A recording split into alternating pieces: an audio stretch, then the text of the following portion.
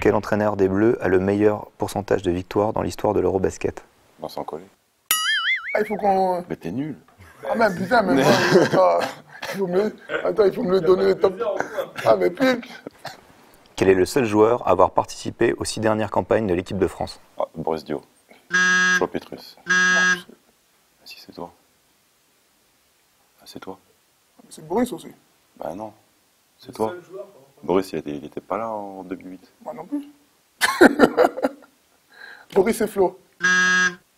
Tony Ah, Nando de Colo. Ah, bien joué. bien vu, bien vu. bien vu.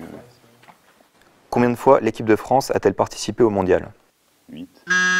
C'est bien chiffre. Je dirais. 4, 3. 3. 5. 2. 7. 7. 8, 9. 10. 5.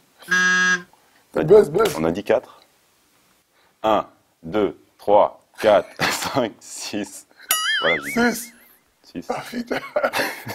Quel est le meilleur marqueur de l'histoire de l'équipe de France? Du Du buisson. Buisson. Quel est le joueur français le plus capé à l'Eurobasket? Jim Bilba. Boris.